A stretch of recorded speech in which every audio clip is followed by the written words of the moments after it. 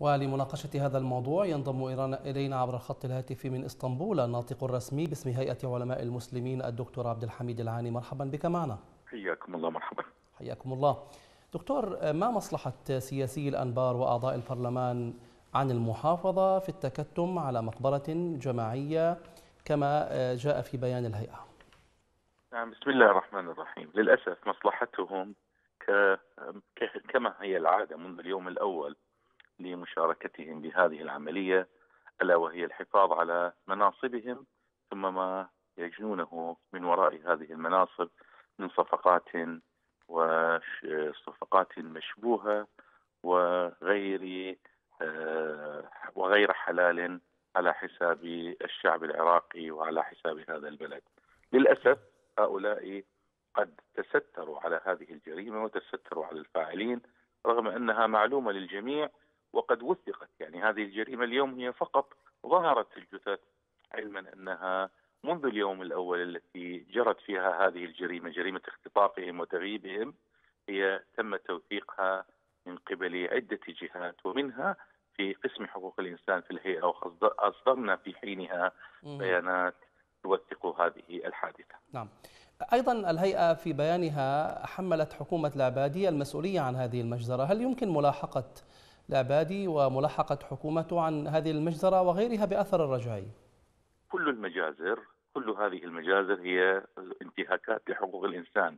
ليست جرائم جنائية عادية وإنما جرائم انتهاك حقوق الإنسان وهي حرب إبادة يعني تطهير عرقي بما تعنيه هذه الكلمة من معنى معنى دقيق هنا.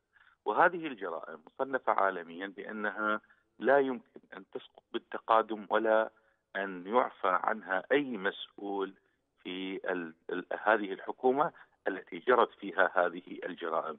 فالعبادي في حينها كان هو المسؤول عن هذه الحكومة قوة الاحتلال وهو مسؤوليته في هذه في كشف هذه الجرائم ومحاسبة فاعلها. لكن كلهم هؤلاء لم يفعلوا ولم يقدموا أي شيء لا للضحايا ولا لذوي. دكتور عبد الحميد في بيان الهيئة ورد, ورد أيضا أن لديكم معلومات عن مقابر جماعية أخرى هل من توضيح أكثر؟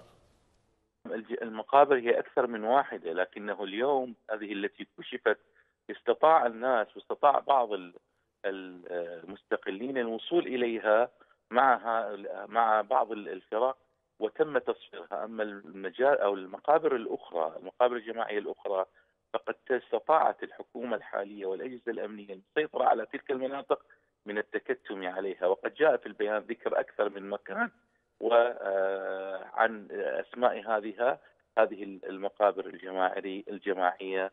ولكنها كما قلت قبل قليل أنها هنالك تعتيم شديد عليها حتى لا يتم تسريب الصور عن نعم. هذه المقابر. وهذا كله جرى ويجري بصفقات وتوافقات للأسف توافقات سياسية على حساب الضحايا. نعم.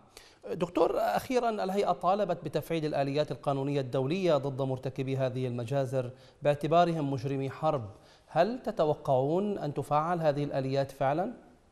يعني دائما للأسف رأينا منذ اليوم منذ الاحتلال اليوم الأول للاحتلال أن المجتمع الدولي يغض الطرف عن كل هذه الانتهاكات لأن هنالك آه، مصالح تربطهم بهذه الحكومات وبهذه العملية السياسية ومن معها، لكن هنالك قاعدة قانونية ذكرتها قبل قليل وإن هذه الجرائم لا تسقط بالتقادم.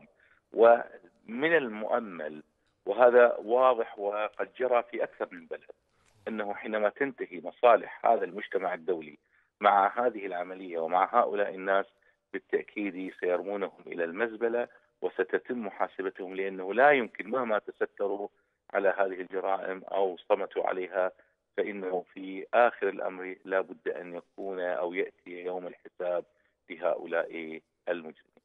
دكتور عبد الحميد العاني الناطق الرسمي باسم هيئة علماء المسلمين من إسطنبول شكرا جزيلا لك.